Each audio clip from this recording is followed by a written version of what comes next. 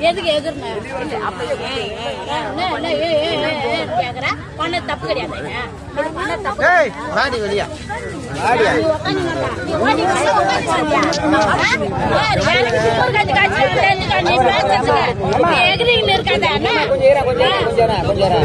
பண்ண நீ வாய் நான் அப்படியே நாலு பாருங்க போட்டு